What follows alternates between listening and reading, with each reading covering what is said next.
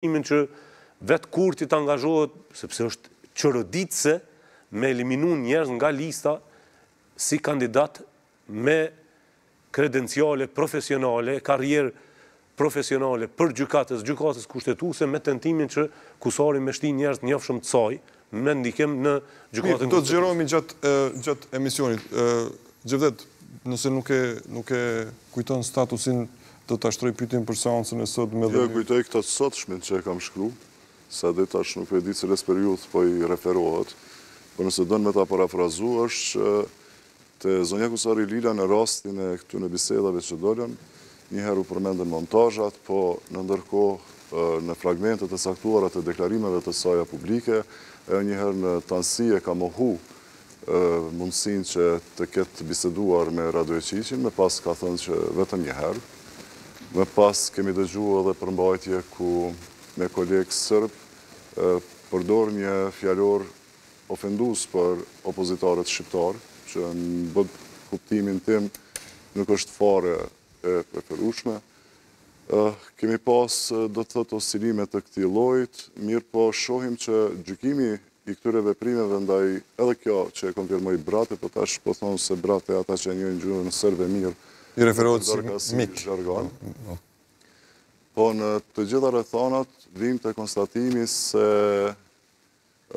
Nëse një gjë e tillë përpara përflitej për ndonjë opozitar, nuk ka pas kësi tolerance, përkundrazi ka pas një një sulm agresiv, ndërsa në rastin e zonjës Kusari Lila, e cila rastisi të ketë edhe ditëlindjen sot, shkojnë të gjithë që ta urojnë që për mua lën një pikëpyetje të madhe se i bie që shumica e grupit, shumica e grupit përfshirë kryeministrin Kurti janë të njëjtës linjë me Me nuk ka pasur distancim, është thënë që këto kanë qenë të fabrikuara, janë pjesë e luftës hibride ndaj grupit parlamentar Vetëvendosjes, qeverisë, kështu ka thënë kryeministri Kurti. S'e di çka i bjen kjo kështu, për në këto relacione, po e di që tashmë është hapë kjo beteja pozitë-opozitë, e thashë edhe në hyrje të emisionit që kjo fushatë ka fillu shumë ma herët, secili do ta përdorë narracionin e tij dhe Kështu do të përpiqen që t'i përvetësojnë votat e qytetarëve. Dëgjova zotin Abazi, po nuk mendoj që zoti Abazi i ka pas mospajtimet e para me zonjën Kusari Lila, kur ajo ka fillu që të jep direktiva, po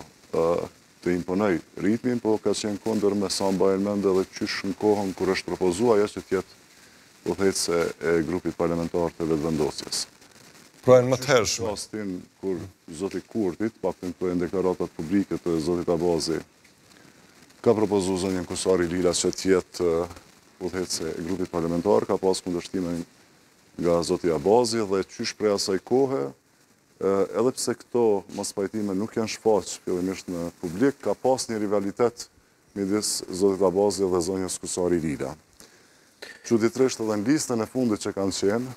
numrat i kanë pas të përafërt, njëri e ka pas tetëmbëdhjetë, tjetri nëntëmbëdhjetë. Çka do të thotë kjo logjikë, pse po thoni çuditërisht? Kjo do të thotë se në vota, zonja Kusari Lila i ka pas pesëdhjetë e tre mijë vota, zoti Abazi i ka pas në zgjedhjet e fundit shtatë mijë vota.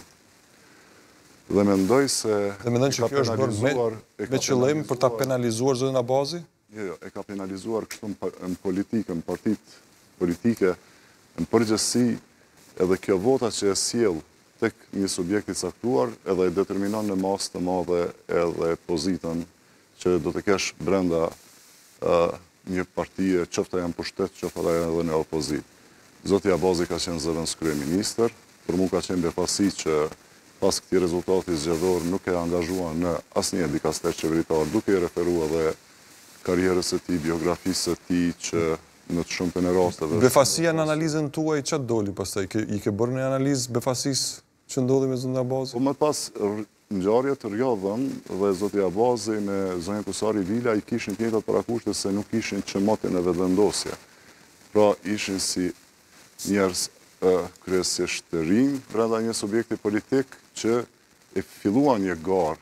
midis vete të cilën falë fleksibilitetit